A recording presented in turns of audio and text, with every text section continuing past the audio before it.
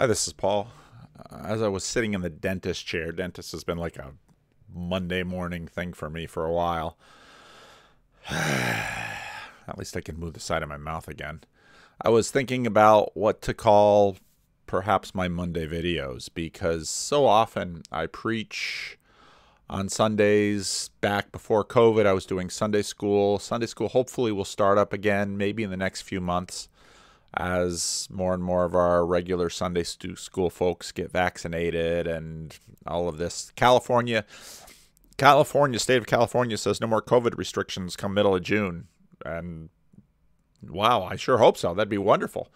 But I was sitting in the dentist chair this morning thinking I should really just have a regular Monday morning video or Monday afternoon video that I call Sunday leftovers because I always think of things as I'm after my rough draft on Friday, as I'm going over my sermon in preparation for Sunday, as I preach it on Sunday, once we have Sunday school class again, I always get these new realizations that sort of continue to bubble up from the videos that I do during the week, from the thinking that I do during the week, from my Sunday sermon. And as I often say with my fri- my Friday rough draft or Saturday rough draft, you know, things change by Sunday. And in my Sunday sermon, I had that little section on superheroes. And, you know, as I, I wrote the sermon on Wednesday, Thursday, and then I did the rough draft on Friday, and then I, I go over it again by myself Sunday morning, and then I preach it on Sunday. And I was a little worried about the transition um, in terms of how the superhero section fits because the demographic for my YouTube audience is quite different from the demographic on Sunday morning, and I sort of keep both in mind when I'm making my sermon. But I was thinking about how and why we use superhero stories and fantasy stories, magic, Harry Potter, Star Wars, Marvel Cinematic Universe, why we use these stories and how we use these stories, and why these stories please us and form us and inspire us and colonize us. And I, think we use them as sort of a distributed cognition. I, I think that's I think that's in our culture and, and increasingly in our world, because these movies are are movies that the whole world goes out. This is in some ways these movies are global distributed cognition. Now, there are a lot of people in the globe, 7 to 8 billion people. So, not everybody sees these movies, but these movies have about as much reach as almost anything that we have culturally that is substantive, that is formative, and and so in some ways these movies are attempts at at distributed cognition global distributed cognition. And and the fact that these movies are fantasies i think in some ways puts them at arm's length. Now i um, my daughter got up this morning and was telling me about some crazy dream that she was having and this one particular daughter has always had crazy dreams and I was listening to her dream, and of course, there were elements of the dream that made sense given the events of her life and our household life. And I was thinking again about okay, what are dreams and how do they function, and and and what what is really going on with them, and and then my friend James who said he was going to performatively unsubscribe because I was teasing him. My friend James talking about, you know, the question as as to whether or not we're not actually always dreaming, but it's just in our waking hours the impact of the physical world via our senses is so important and profound. Our dreams sort of get pushed down and so then when we we sleep at night our dreams sort of come to the surface and and we continue to process and make sense. And so i think in a lot of ways movies, you know, not not just fantasy or superhero fiction and not even just fiction because anyone who looks at our telling of history knows that in many ways our telling of history is dreamlike. We're, we're trying to work out our morality how we should act what how we should live. We're always trying to do all of this stuff and we're trying to do it globally and communally because if we can do things together we can accomplish things. And so i think this is a lot of what we're really doing with stories in our in our minds Now, remember, stories are massive, lossy compression algorithms for a world too big for us to manage.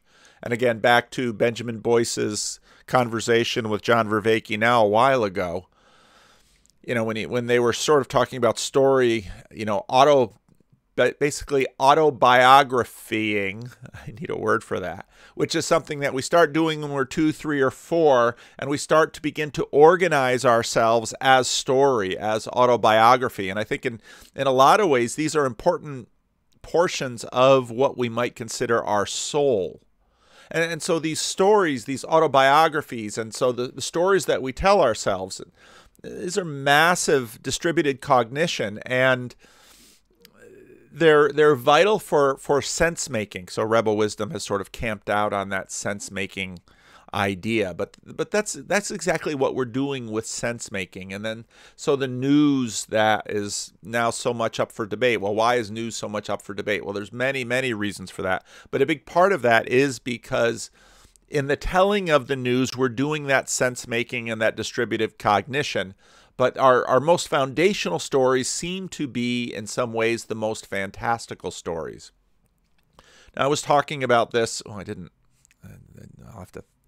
I was talking about this on the Discord server Thursday or Friday. I got into a conversation with Shane and with um, with Andrea. I'm going to be talking to Andrea and um, Jonathan Pageau coming up soon. That'll be a fun conversation.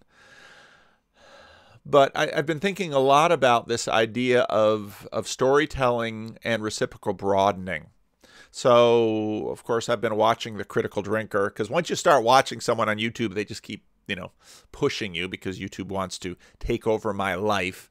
Um, and he did a review on Thunder Force, which is I didn't I guess I saw, maybe saw it advertised on Netflix, but I didn't know anything about it. But he he really panned the movie, and you know I I the movie didn't look terribly appealing. I don't know if I'd watch it anyway.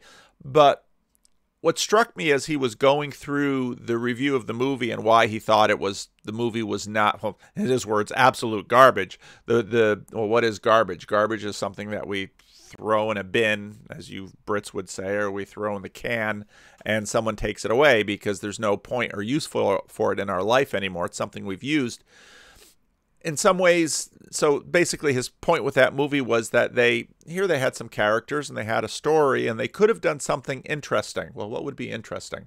Well, well they could have actually worked on some of that distributed cognition that we're all sort of working through. That they could have made a contribution to humanity if they had used creative storytelling in order to do something productive for all of us. Now, again, there's huge variations of taste and people are always working on different things and if you have a child sitting in front of any kind of video content, you know that children tend to repeat and repeat and repeat and repeat. Jordan Peterson talks about this with respect to Pinocchio. And so, in many ways, and you know, the one video I did that Jordan Peterson, that I know Jordan Peterson actually saw, was my video a long, long time ago on The Office, where I was watching my young adult and teenage children rewatch and rewatch and rewatch The Office, and how I went through that video how the office had all these archetypal characters in it. And and I think in some ways what was happening with my young adult children was that they were they were processing a whole bunch of things through that literature, through that medium, okay? That's what they're that's what they're processing, that's what they're doing. Now, I've also been fascinated by this video that Jonathan Pageau did on parasitic storytelling because there's been a whole lot of complaint about wokeness destroying storytelling. And this is parallel, as I mentioned in a video recently, to why so many Christian movies are just terrible movies. And there's all kinds of reasons for that. But I, I think actually beneath a lot of this, there there's a fair amount of deep coding. Okay. And and that that deep coding, we have an intuitive sense of reciprocal narrowing and reciprocal broadening. And and part of the problem with woke storytelling, parallel to bad Christian movies, is because it winds up being reciprocally narrowing. Well, what do I mean by that? Well, I think with reciprocal broadening and even with this idea of sense making, we, we begin to understand the whole world by virtue of that story. That story becomes a lens, and I'm riffing on C.S. Lewis here. Um, you know, the, because you know, why do I believe? You know, it's I, I should have pulled up that Lewis quote, but you know why do i why i see everything with it i see everything through it in other words good storytelling is illuminating and and not just for the my, the main point. I mean, part of the problem with a lot of Christian movies are, as as a lot of people on YouTube will tell you, they're just basically sermons. They're saying something about my profession. They're basically sermons. They have one point, and the point of wokeness. Okay, I got the point, and and that's part of what defeats these agendas, which is, okay, I got the point, but your point isn't broadening the world. Your point is narrowing the world. Your point is reducing my agency. Your point is basically killing life instead of opening it up. And and and that in some ways is the question. Jesus says, as I was thinking about all of these things in the dentist chair this morning, I come to give you life and life in abundance. And so I think that's that's in a sense a that verse is all about reciprocal broadening that it's it's through the correct story that now suddenly every other story comes alive and all other life comes alive. And if your reciprocal storytelling just makes the same if your storytelling just simply makes the same point again and again or is parasitic upon other stories you're you're not it's not life-giving. There's another phrase that you know has been popular for a little while. It's not life-giving. It's not expanding the world in a productive way. And i think this is in some ways sort of a, a good dead reckoning of okay well what's what's what's leading us in the right direction and what's leading us down a blind alley and so you know, we do communal storytelling and think about that as distributive cognition in order to continue to recalibrate our mappings of the real world inside our mind. And this is Jordan Peterson had that interesting interesting section in his conversation with Bret Weinstein that I played in my mapping the story inside and the story outside video where Jordan is noticing that his granddaughter is sort of you know processing Pocahontas and and in some ways Pocahontas for his granddaughter sort of becomes a prism through which she can engage the rest of the world. And if it weren't productive, I imagine children probably wouldn't use it because actually children are, are tremendously productive even when adults keep wanting to colonize and recalibrate their productivity, often in unhelpful ways. And, and I, there was a New York Times article that um, the memesters posted on their Twitter account that I said, you know, you gotta you gotta post the link to it because I, I I'm a digger. I dig these things down, and so a guide to neopronouns. Are you a person, place, or thing? Okay, but this is what people are doing, and and they're trying it, and they're they're they're using fantasy because in some ways it's safe, but but the fantasy is increasingly getting closer to the real world because that's exactly what we're trying to do. Back and forth back and forth back and forth. Now on the discord server someone mentioned i do lurk more than i chime in on the discord server but but someone mentioned oh i, I hope paul does a commentary on on trent horn versus matt dillahunty on belief in the, his belief in the resurrection reasonable because i saw that there was some so then i searched it on youtube and and did did did Trent Horn say that the resurrection was unreasonable? Atheist, modernist, pearl clutching. I tried to watch some of this. I just get very frustrated with this kind of content because I find this to be modernity leftovers. Um, a lot of debate around Easter time about the resurrection. There always is and I find it entertaining but mostly unproductive. Hardly a newsflash that these debates don't prove anything. C.S. Lewis's comment in Miracles when modern writers talk about the resurrection, they usually mean one particular moment the discovery of the empty tomb and the appearance of Jesus a few yards away from it. The story of that moment is what Christian apologists now chiefly try to support and skeptics chiefly try to impugn. And I look at this, and there's a reason C.S. Lewis begins his book Miracles with a ghost story. Because, as Lewis points out at the beginning of the book, you don't you don't win any debates here. People either believe or don't believe in ghosts based on the general mapping of their terrain, okay? And so what most of these most of these debates boil down to is do supernatural things happen? And, you know, they're even getting into Craig Keener's book on miracles. But the point that Lewis makes here is that the resurrection of Jesus Christ is a fork in the story. And the the point that many skeptics make to me, which is often, well, and and I and and this this is a powerful point that skeptics make. Well, let I'll I'll give I'll give it to you. Okay, I'll give it to you that Jesus walked out of that tomb, you know, hobnobbed with his disciples two thousand years ago, and then you know, zipped up into heaven a little slower than through, uh, you know. He didn't have a he didn't have a chariot of fire, but that's the main point. And and Lewis goes into this in his book Miracles. And Lewis's point is that what we're really talking about is the change of history, and that's much closer to Tom Holland's Dominion than one of these little squabbles on the internet. Because, truth be told, as Lewis says in the first chapter of Miracles, the the mapping of the world that that you experience things with determines what you see to a great degree. And, and this is where we get the, the story inside and the story outside and the constant recalibration of our mappings. And Rationality Rules did another Jordan Peterson video and just a little bit of commentary on the, the Pageau Peterson conversation. And you know, I've been debating with myself if I wanted to talk about some of these points in a little bit more serious way. But but two early points that he makes about the God of the intuitions and the God of the gaps. And and in some ways my response to both of these points is exactly my response to which which arises from C.S. Lewis's first chapter of Miracles. The mapping that you have, the, the default assumptions that you bring to personal experience guides what you see.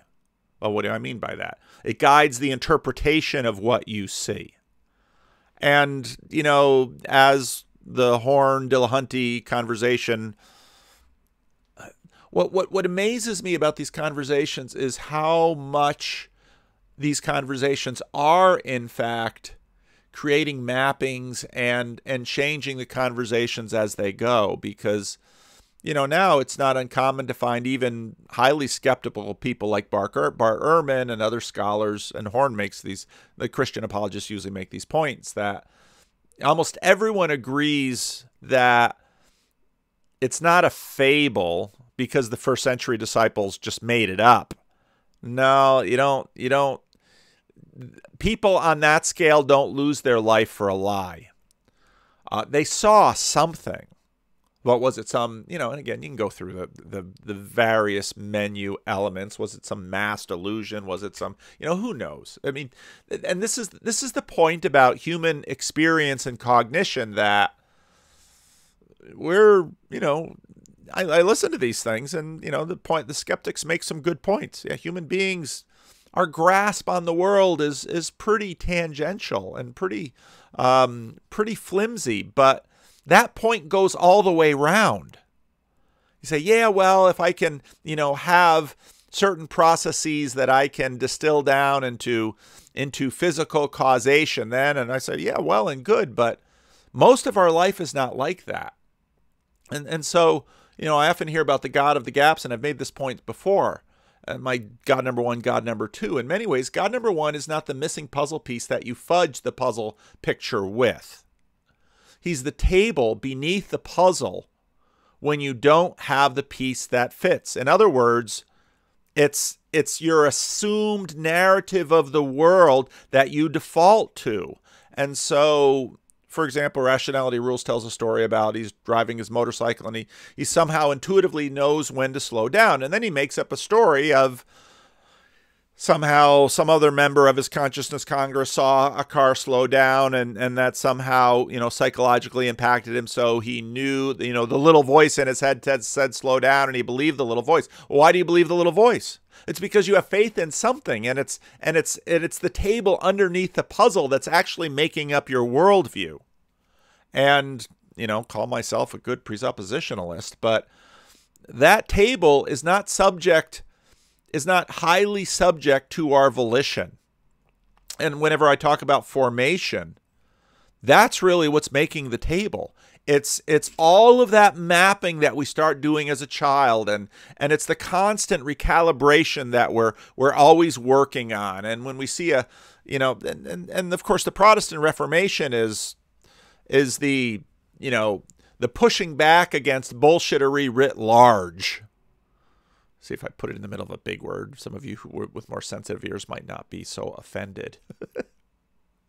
but it's it's you know it's it's mass skepticism in some ways and okay so well lots of parts of babies get strewn across the lawn when the bathwater goes out um and, and, so we're always you know going out into the yard and picking up parts of babies and thinking huh shouldn't have thrown this out. Maybe i'll bring that back. And that's an awfully gory de- that's an awfully gory image but uh, in my opinion my experience as a pastor gory images stick because one of the things that pastors do major and maybe not maybe isn't always so much just rationality and rules of debate, but rather um, evocative images that can stick in your mind because pastors are, of course, natural colonizers. That's our job. and, and that's why I, I just seldom have a whole lot of I listen to these debates and I always pick up some things from them and I sort of tuck them away in my mental file cabinets, but that's not what moves regular people's lives. And as a pastor, that's really what I care about, moving regular people's lives. And of course, Newton I made this point, I think, in the Friday question and answer. Newton was practicing natural theology. Why? Because God number one, he was he was pursuing the pieces of the of the of the puzzle that aren't there, and he's trying to he he understands that in a lot of ways these pieces emerge from the table. All right, it's a very different image about puzzle making. I mean, imagine if the well, you can probably get a better idea of it now with uh, computer puzzles. I've seen a few of these online we, we take intuitive leaps to guess at what might be right there in that blank space in our puzzle. And so we, we imaginatively lean into them. And what do we use to do that? We use stories. That's where the superhero stories and the fiction and the mythology, that's what all of that's doing. It's all it's all trying to penetrate into the table in order to see the puzzle piece grow out of it. I mean, that's what that's what early that's that's the basis of scientists that they're penetrating into the table because they want to know God more. And and that's almost exactly the definition of knowing a person. And and so you know, let's say let's say you're a young single person and because we're doing a lot of this conversation on the discord too you're a young single person and and you just feel a you just feel a pull for you want to go on the bachelor so you can find true love. And you're you're pulled toward it and you're drawn towards it. And then you meet a person and you don't know why. And and this this this story is so common just ask people who have been couples for a long time you know, you walked into a room and you saw that person across the room, and some people have the experience of saying, I'm going to marry that person. They knew it right away. Well, why did they know it? Well, it's not unscientific. In fact, psychologists go into that. I remember the I remember the moment I saw my wife for the first time. I remember it. She immediately caught my attention. And now those of you who those of you who have been watching my channel know I'm actually a very patient stalker. Um, and so, you know, I, I, I didn't I didn't you know I I didn't have the confidence that I could run over to her and invite you know introduce myself never having met her before yada yada yada. No I took my time. But um, I achieved my goal.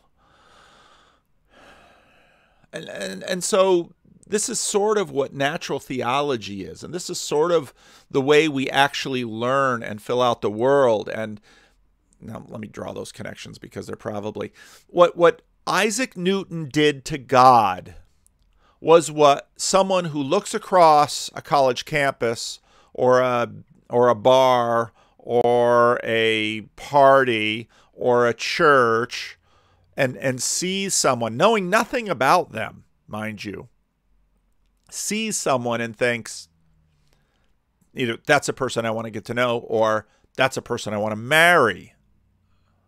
And, and then what you spend your time doing is investigating, going further into that person, learning them, understanding, and of course there's there's enormous projection going on there and back and forth and but but you keep looking and hopefully your projections keep you focused there and hopefully the person on and on and on will begin to emerge from your projections and you'll actually know something that's far more real than just the projecting that you're doing on this person for all of your own for all of your own needs.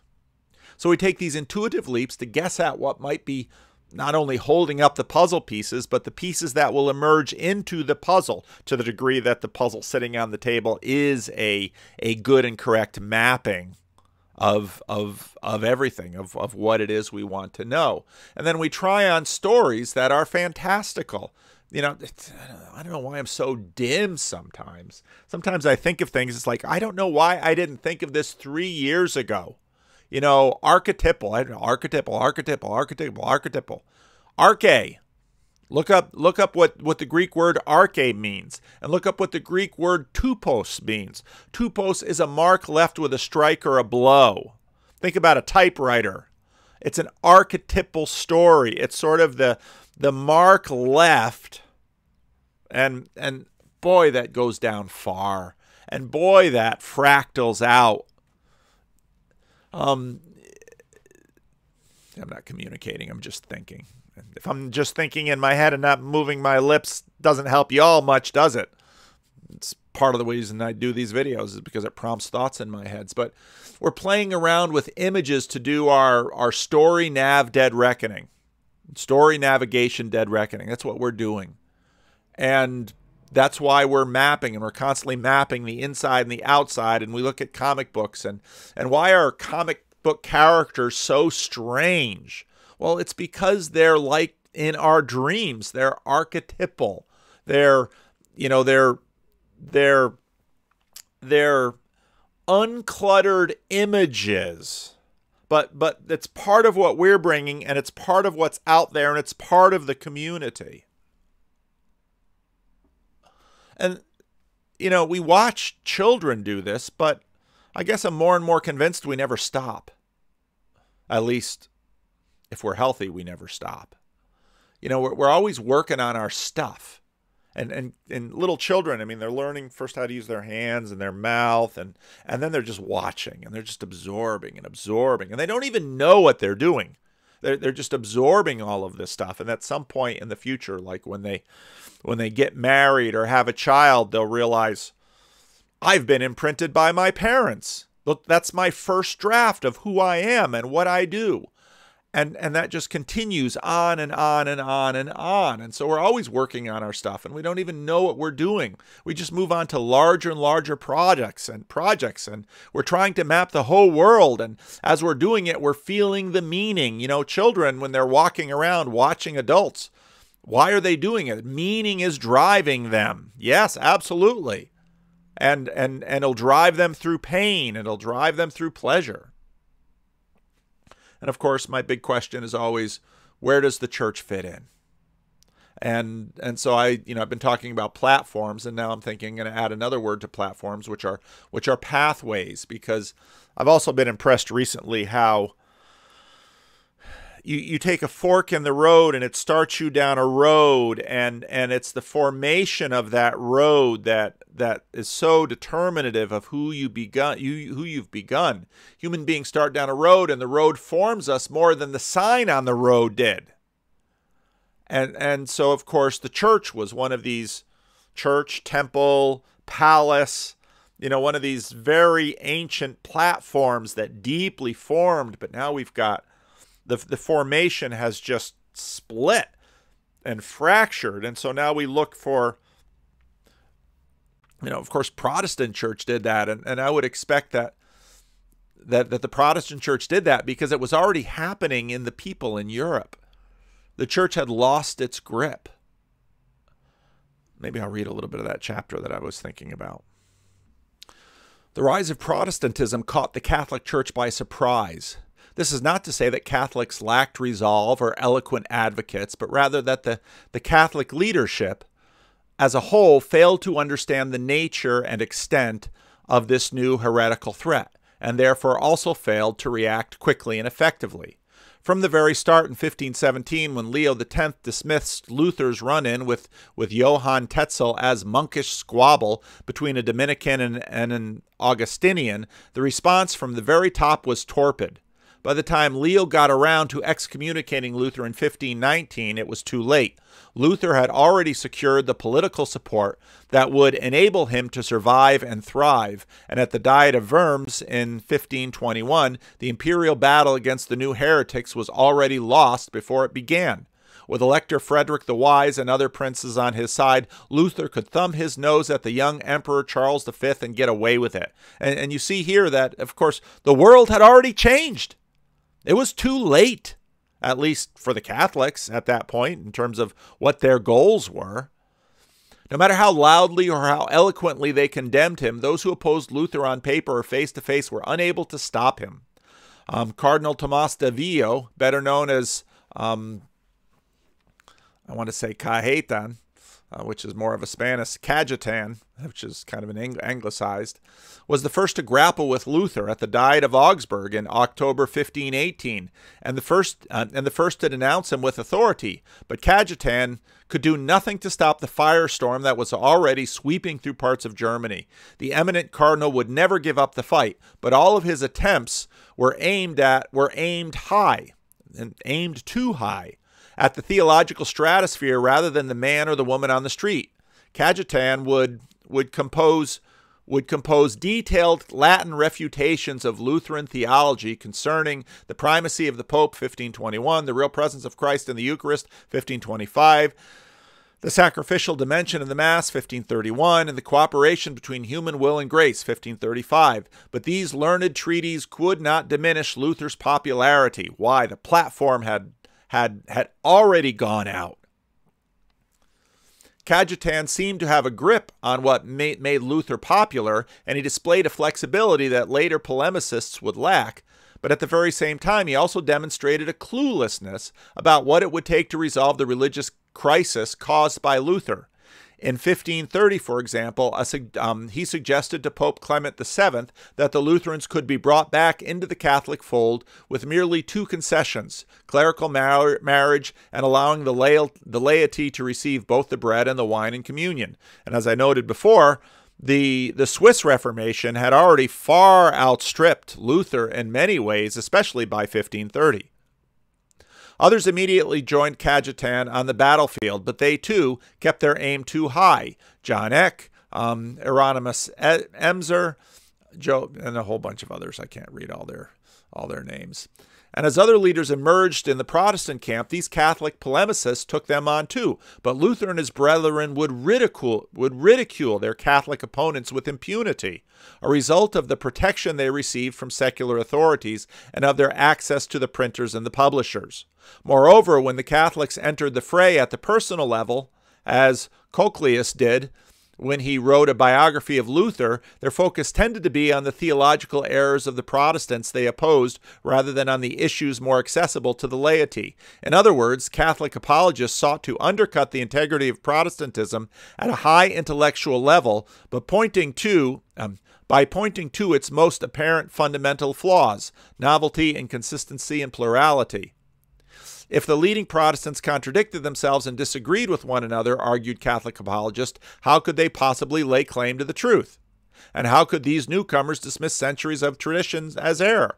But again, everyone else was just dead reckoning, using the story verse, massively compressing everything, recalibrating, remapping, and this was happening at an enormous scale. And so by the time the I mean the church, the Catholic Church shows itself to be just too established, too old, not in touch, and of course the reformers they didn't have all the advantages that the Roman Catholic Church had. So, what advantages they had, they used, but happy for them, those were the advantage the advantages de jour. And yeah, this is what's happening. So again, my quest is continues to be for the church. Where does the church fit in? Fit in? How do we navigate this? How do I as a pastor continue to figure out what the gospel is, figure out what the Christian life should look like today, figure out how to articulate these things, figure out how to talk to regular people, figure out how to posture myself in the far bigger world. It seems no better goal. Anyway, so there's Sunday leftovers for you. Leave a comment. Let me know what you think.